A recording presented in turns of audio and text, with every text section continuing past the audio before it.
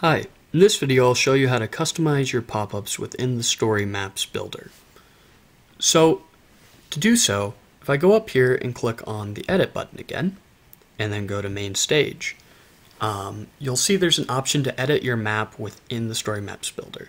So if you click on that, it'll bring up this window that's essentially the web map builder that you see in ArcGIS Online. Um, and you can do many of the same changes within here that you could within ArcGIS Online. So for example, I'm going to show you how to configure pop-ups. So if I go over here to the layer that I've created, St. Anthony Falls Hydro Facilities, um, and then click on these three dots, it'll pop up these different options. Um, one thing that you might want to do, for example, is rename the layer um, to simplify it when it pops up in your legend um, on your main stage. So another thing you can do is go down here to configure pop-up. So if you click on configure pop-up, um, you'll see this gives you a few different options. Um, what we're going to do is we're going to just set the specific fields that actually display within the pop-up. So if you go down here and click on configure attributes, you'll see a list of all the different attributes that um, are available in your data. But all this information may not be necessary for your audience to see. So, um, for example, here I'm going to toggle off latitude, going to toggle off longitude, um, and a few other things here as well. Um, just to clean this up and make it very, um, just very clean and simple. Um,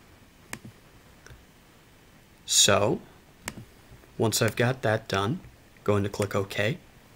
And let's say I also want to add an image to this pop-up. Um, so you can add in images that are hosted online. Um, for our purposes here, I'm going to use um, one from Wikimedia Commons. So I'm going to go here and click on Add under Pop-Up Media, and then on Image. And you'll see it'll bring up the option to um, enter some information for this.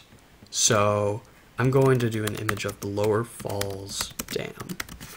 Um, and for the caption, I'm just going to put Lower Falls Dam for now, and where I'm getting it from, Wikimedia Commons. Put that there, and then I'm actually going to grab the URL for that. So, um, I've already looked it up here, um, and if I uh, right click there, I'm going to go and I'm going to copy the link address of that image, or the copy the image address.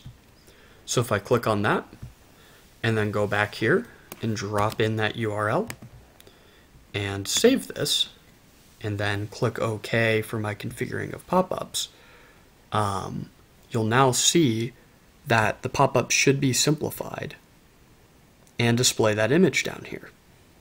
Um, so yeah, this is a great way to um, kind of limit the, what you have in those pop-ups to what's absolutely necessary and also add some images in there.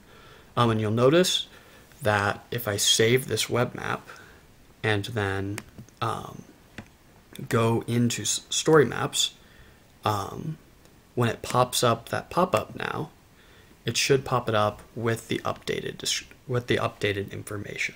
Yeah, so that's how you do um, pop-up customization. Thank you.